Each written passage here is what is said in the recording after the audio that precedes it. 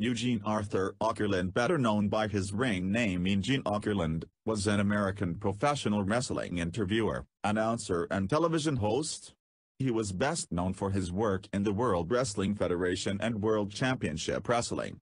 Okerlund was inducted into the WWE Hall of Fame in 2006 by Hulk Hogan.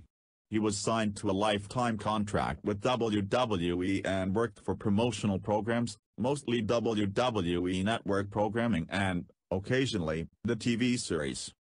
Okerlund died on the morning of January 2, 2019, at the age of 76 in a Sarasota, Florida hospital. This was later confirmed on WWE social media and its official website later that day. It was revealed by his son, Todd Okerlund, that he had received three kidney transplants and had suffered a fall which caused his health to deteriorate in the weeks leading up to his death.